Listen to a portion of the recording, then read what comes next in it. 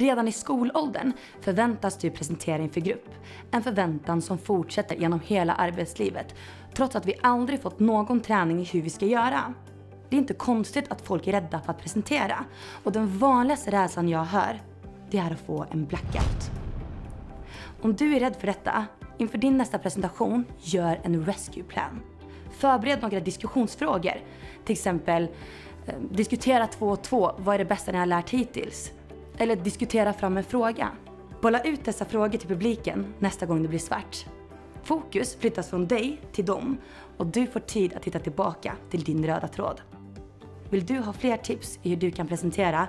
Hör av dig till oss på Snacka Snyggt. Jag hoppas vi ses.